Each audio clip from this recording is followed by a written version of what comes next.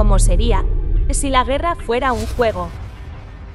Donde el mundo lucharía contra las desigualdades, el hambre y la pobreza